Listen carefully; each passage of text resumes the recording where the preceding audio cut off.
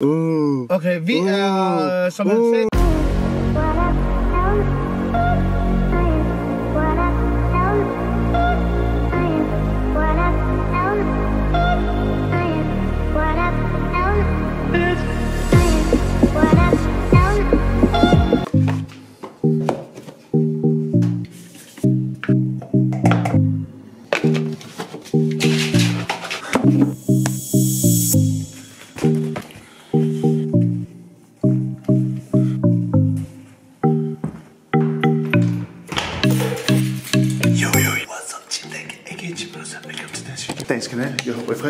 frisk. Jeg visker lige lidt, fordi at jeg er i opgang, og du ved, der bor andre mennesker, så jeg vil ikke larme. Så må sige, jo, jo, jo, jo, what's up?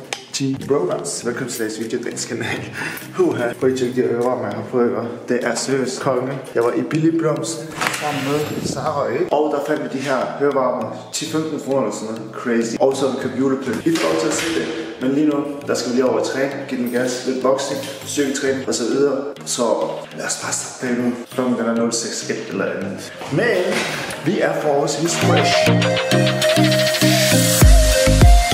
Scheisse, hvor er der bare koldt. Uh. Som sagt, venner, lad os gøre sådan her. Bum. Jeg gider ikke snakke så meget i bilen, for der er endnu, der er mørkt. Men klokken den er 06.17. Oh. Uh, konge. saver, Lifesaver. Uha. Seriøst, invester et par af dem her, hvis I ikke gider rende rundt med hue. Så de her er altså konge. Vinteren er på vej. Vinters coming. Seriøst, det er no joke. Men den pre-workout, jeg tog fra Star Nutrition Body Store, den krasser eller klør i hele ansigtet på den der fede måde, du ved, den der beta-alanin, ikke? Du ved, sådan, du ved, sådan, du ved, sådan, pre-workouten der, hvor man, hvor man tænker, okay, nu går den ind og virkelig sparker røv. Og det har jeg lige nu følelser. Så det vil sige, at jeg er mega pump på at gå ind i give den gas. Undskyld sproget. Men at have en fan, vanvittig fed træning, fordi i dag bliver en god dag. Det kan jeg mærke. Hvis du siger til dig selv fra dagens start, at det her, det bliver en en god dag, så lover jeg for, at det bliver en god dag, for der er ikke noget, der skal ødelægge mit humør i dag. I dag, så skal vi give den gas. I dag skal vi hygge. I dag, så skal vi bare have det mega nice. Så derfor skal jeg ind og give den gas nu her. Så venner, let's go.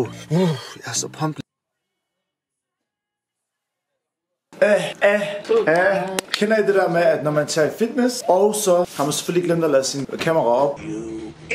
Og hvad resulterer det i, at den går ud. Men bare rolig, jeg har filmet det på min telefon, så jeg smider træning op sidste videoen her. Lige nu, der er jeg hjemme, og klokken den er 09.10, og jeg synes, der er en, der larmer herude. Det var der sørme også. Prøv lige at tjekke, han spiser alt det der pap. Men vi har læst os frem til, at det er okay. Kaniner, de spiser pap, det må de åbenbart gerne. Eller der sker vist ikke noget ved det, sådan noget af den der stil. Men vi skal lige have måltid nu her. Prøv lige at tjekke her. I ved det? Jeg ved det godt. Det er kun hardcore mennesker, der kan det. Kød her til morgen, kyllingfilet. Og så de her lækre proteinbrød. Jeg siger jeg godt, det er noget af det bedste. Det er sådan en blanding af rugbrød og franskbrød, hvis man kan sige det på den måde. 17% protein, 7,6 gram fiber og 23% øh, fuldkorn og procent selvfølgelig også. Og selvfølgelig noget Philadelphia light udgave af nogle øh, forskellige, hvad, hvad hedder det, smørost. Og Sara, hun elsker også. Hej Arch. Hej Sara, tit. Der var han bare sidde, lille, hvad, hvad er den dit? Lille Batman, skulle du kalde ham det? Sådan der. Hurtig, hurtig måltid her. Lad os bare lige tjekke her, hvad der er i det her måltid. Bare lige sådan hurtigt. God gammeldags. 360 kalorier er der. Jeg må nok hellere lige vise, hvad det er. Det er det her, som I kan se. To skiver af de her protein rugbrød hver. Så har vi Philadelphia, ost, smørost, light udgaven. Og så har vi kylling, cirka 160 gram. Og det er Sarah smør.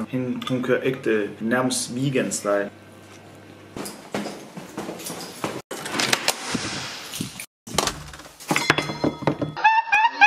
Bror, de skruer han, det faldt ned.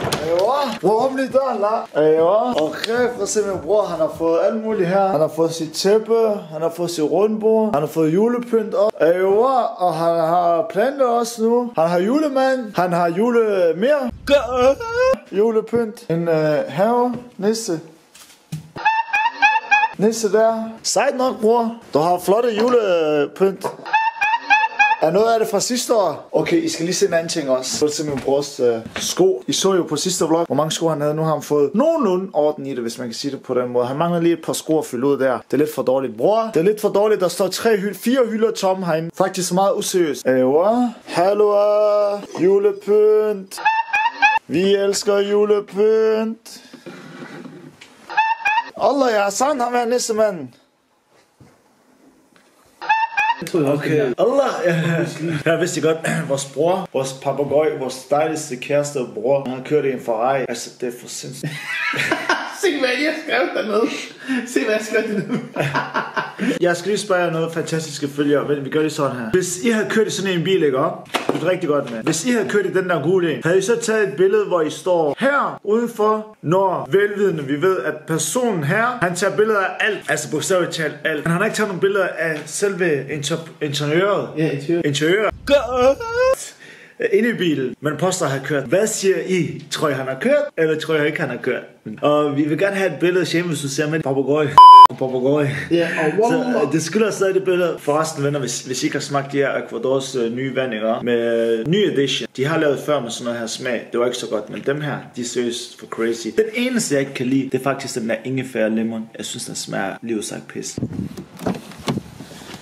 Som I kan se her, 393 likes på den her video. Så mangler vi lige 107 mere, så er der en ny giveaway på vej. Hør lige her, vældig vel, lad os lige komme ud i lyset. Sådan der. Vi er lige nu på vej til Skanderbron. Vi skal lige besøge sted, og så skal vi over besøge en donorforretning. I ved det, vi elsker, eller hvis der er en ting, vi elsker, så er det at teste andre donorforretninger, og så give os ærlige, øh, hvad skal man sige, review af det. Og inden I begynder på alt muligt, vi giver vores ærlige review. Det betyder, at er det godt, så er det godt, så siger vi det også. Er det skidt, så siger vi det også. Og vi sammenligner aldrig med bronuts, fordi så sidder der nogle mennesker derude. Jamen, det kan jo sagtens sidde og sige for at snakke jer selv op. Okay. Så bronuts fuldstændig neutral. Vi sammenligner ikke om det er bedre og dårligere eller whatever, fordi at så, ja, så begynder folk bare at snakke. Så det her, det er så neutralt som muligt. Vi gør det. Vi tester donuts. Hvis vi synes, de er gode, så er de gode. Hvis ikke, så er de ikke. Så synes vi ikke. Fordi det er meget forskelligt fra butik til butik. Ligesom at alt, hvad jeg siger her til jer derude, det kommer fra hjertet af.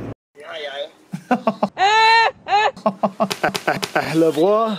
Okay, vi er lige nu første stop, Stay, Skanderborg. Her, for de er jo skiftet forret, det er jo plejer at ligge inde der Blooms, Bloms, Bloms, Blooms, et eller andet, hvad det hedder, center i Skanderborg. Men de flytter her ind på gågaden faktisk nærmest øh, ikke engang 50 meter derfra. Men det vi skal nu her om 7 minutter, det er at besøge donorforretning, som faktisk ligger lige ved siden af her. Så det er perfekt timing i forhold til, at vi skal ind og se, hvordan deres donuts er. Om de er gode, eller om de kan gøre bedre. De kan gøres bedre, som man siger. Ja, ja, bror, lad os lige gøre så. Okay, det var meget Ja, dejligt. jeg skal lige, du ved, er man er- frisk, er vi er frisk? Hvor- Okay. Hvor, vågn lige, vågn lige, vågn lige. Ej, hej, hej, ja. Hør, man får også tit ondt i hovedet af det der. Ja, uh, uh. Okay, vi er, øh, som han sagde, Stop it. Og vi, Vi har besøgt. Hvem har vi besøgt, bror? Mr. Donut Happy. Og vi glæder os faktisk til at smage dem. Så ret inde nu, vi har faktisk øh, dem her. Bum bum. Faktisk ikke bare lige sådan. Øh, nu ser vi flere donorforretninger her. For eksempel Ferrero på toppen. Øh, dumle, øh, de der man åbner og Ferrero med indpakning og sådan noget. Det må man faktisk ikke i for, øh, for, forhold til Fødevarestyrelsen. Mm. På grund af, at øh, vi har, første gang vi havde Fødevarestyrelsen på besøg, der havde vi nemlig tænkt på at gøre det samme, dengang vi startede med at åbne. Og der sagde hun faktisk, at man ikke måtte, fordi du ved ikke udenpå, hvor den har været, hvad den er lavet af, om der kommer bakterier på øh, i forhold til, når du åbner den. Så jeg ved faktisk ikke, om den her, det så også er godkendt i forhold til at lægge det. Men øh, Smager sgu bare alligevel. ja, ja, helvede, mand. Er det ikke rigtigt? Okay. Jeg tager, vi har begge to valgt. Jeg har valgt en uden fyld, og bror har valgt en med. Jamen vaniljefyld her og blåbær og ovenpå her. Jeg, ser, jeg må ærligt indrømme, at øh, de ser meget mere indbydende ud end de fleste steder, vi har været, hvis Ja. man kan sige det på den måde. Så nu kommer der også en p-vagt. Ja, det er der. Skal vi skåle? Ja, bror, jeg, jeg skal lige sprøjte den her, Ja. bror. That's what she said. Sprøjt den. Se. Skål Det kan så. man gøre. Ja, tak. Sådan der. Skål, bror. Ja, skål. 3, 2, 1.